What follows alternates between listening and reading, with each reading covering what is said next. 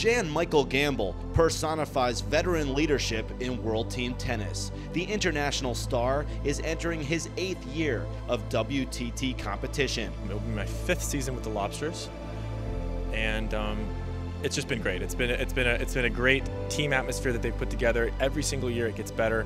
Bahar continues to support the team more and more, and, and, he, and he likes to keep the family together. Every year we, we look forward to seeing the, the same players and the same staff, and uh, that's a really fun thing to look forward to um, at the beginning of the year and, and, uh, and, and obviously in, in um, July. And Eric Budarak is a great guy. Bud is just a fantastic coach. It's, it's just been a great, great atmosphere to, to play in. Jan Mike has been ranked as high as number 14 in the world, with singles victories over Roger Federer, Pete Sampras, and Andre Agassi. He also has three ATP Tour singles titles on his resume, all experiences which will help him guide Boston on the courts. Well, I think that I would still be on tour. I mean, it, it, my years would probably be winding down a bit, but if I hadn't been injured, I'd still be playing the ATP Tour. Um, I didn't stop playing by choice. It was it was me falling out of the top 100, top 50.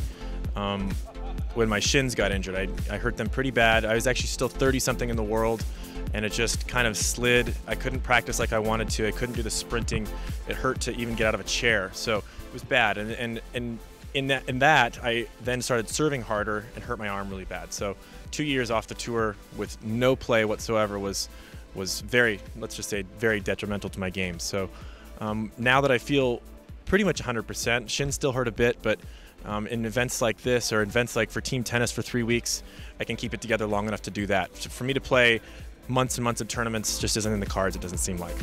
Gambill has helped the Lobsters earn two consecutive playoff berths, and he hopes this season will be another banner year in Beantown. We've made the postseason three out of the four years that I've played for Boston, which is a, is a nice accomplishment. Haven't made the finals yet, so we've made the semis three times, and that's that's fun. I, you know, there's always something more to push for.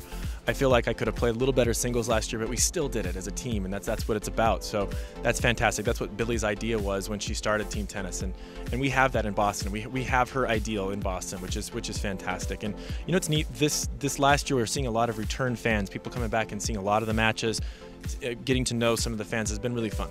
And there's no question this World Team Tennis hero will be an inspiration both on and off the courts. I think for the Lobsters to win a championship, we need. I'd like to see us start out a little bit um, more off the gun, um, have a really good start of the season, and carry through. Um, when you get into the final, though, you know, three to four times, you, you have the opportunity. We, we were in the match. This last one, we lost to Washington D.C., who were undefeated. That's a tough situation. Um, that was that was still a close match. We won both the singles matches. We, we need to play a little bit better doubles. I think our doubles, get the doubles up a little bit and, and we'll have a shot.